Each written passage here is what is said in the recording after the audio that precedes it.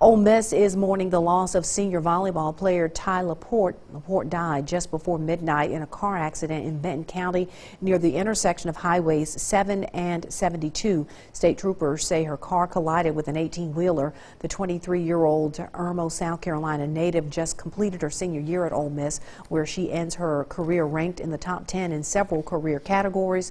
She was an integrated marketing communications major there at Ole Miss. Invest